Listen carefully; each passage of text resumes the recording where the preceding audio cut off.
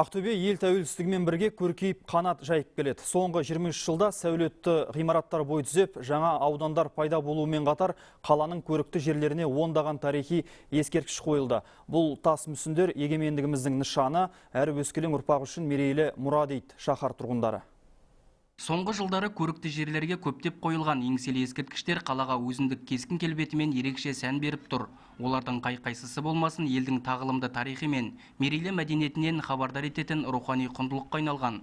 Ал ең бастысы бұл тас мүсіндер халықтың баға жетпес рухани байлығы әрі тәлімді тәрбиенің қайнар көзі іспеттес. біздер үшін осындай өзіміздің мекемеміздің алдында осындай біздің үлкен тұлғаларымыздың тұруы ол бізге әрқайсымызға кәдімгі үлкен э, шабыт береді үлкен э, былай қарағанда патриоттық сезім береді ол әрбір ұрпақ тәрбиелейді өйткені себебі біз э, өткенімізді тарихымызды ұмытпауымыз керек Еліміз тәуелсіздік алғаннан кейін ғана ел басқарған абыз бабаларымыз бен қол бастаған батырларымыздың есімдерін ұлықтап, төл тарихымыздан алар орнын нақтылауға қол жеткіздік, біліп бағасын бердік. Бірер жылдың бедерінде Ақтөбе көшелеріне 20-ға жуық тарихи тұлғаларымыздың ескерткіштерінің қойылуы соның нақты мысалы. Тек тынысы еркін болашағы жарқын ел ғана осындай игі қадамдар жасаса керек. Бұл білікті ұстаз Үмбетхан Сәрсенбиннің пайымдаған пікірі. елбасымыз айтқандай біздің осы тәуелсіздігіміз ата бабамыздың ә, ерлігімен рухымен ә, бірлігімен қол жеткізген дүние.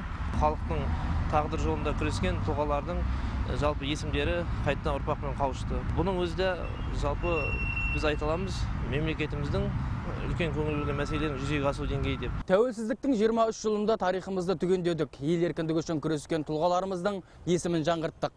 Оның бір көрінісі шаһар орталығында орналасқан Батырлар аллеясы. Бұл жерден екінші дүниежүзілік соғыс кезінде өшпес ерліктің үлгісін көрсеткен ақтөбелік батырларға қойылған ескерткіштерді көруге болады. Қаланың көрікті жерлерінен ауыз әдебиеті кейіпкерлеріне де орын берілген. Бұл ескерткіштер жастардың еліміздің бай әдебиеті мен мәдениетін білуге деген құштарлығын арттырады дейді аға буын өкілдері. Ескерткіштерімен еңселі Ақтөбе соңғы 23 жылда нағыз тәуелсіз елдің шырайлы шаһарына айналды. Орталық көшелердегі ғимараттарды ұлттық нақышта безендіруге де мән беріліп келеді. Бұл үрдіс алдағы уақытта да жалғасын таппақшы. Жақсыбек Кемал, Бақытжан Едігеев, Қазақстан ұлттық арнасы, Ақтөбе.